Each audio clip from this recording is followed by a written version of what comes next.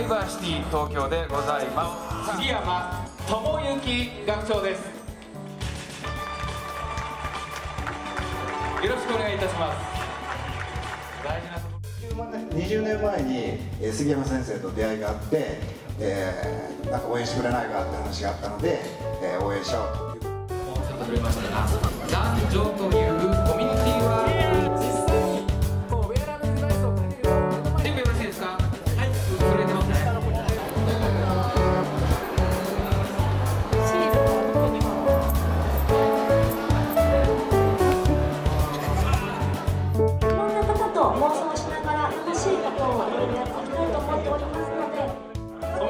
はエンターテインメント的な技術やノウハウが絶対に必要不可欠です。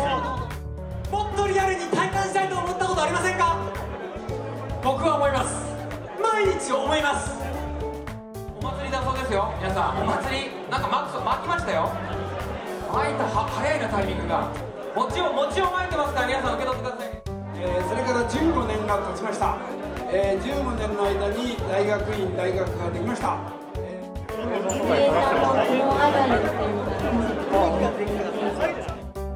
れから先、ネットワークとか人脈っていうのが非常に大事になるということを経営を通じても実感してますので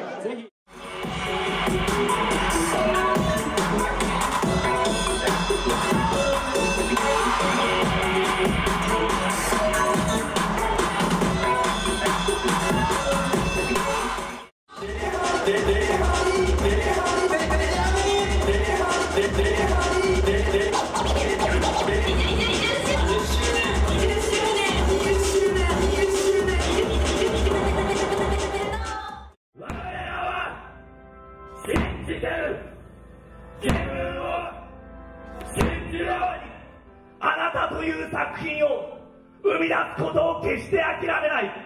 あなただから応援をしたいんだ。